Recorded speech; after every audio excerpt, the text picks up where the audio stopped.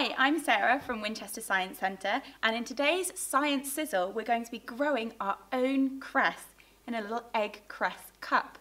So for this you can use a hollowed out eggshell or you can go through the recycling, see if you can find yoghurt pots or jam jars, any other little container that you can start to grow some seeds in.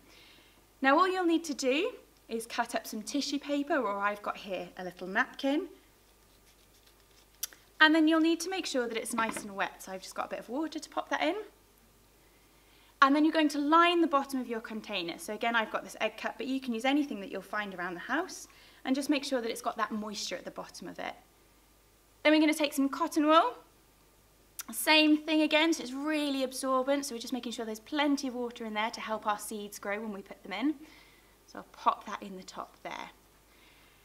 And then finally, you just need to add some cress seeds. Now these are really easy to get hold of. You can find them at local gardening centres or supermarkets, or lots of places will have them online as well.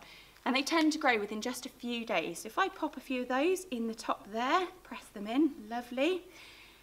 And then all that's left to do is to decorate your egg and to decide four different places around your house where you might want to see if you can grow these cress seeds.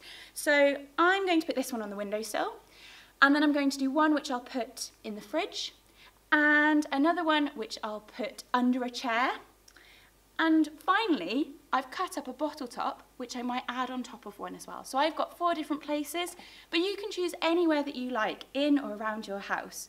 And we'll just check in on them every day and see when they start to grow. Let's check back and see where your curiosity will take you.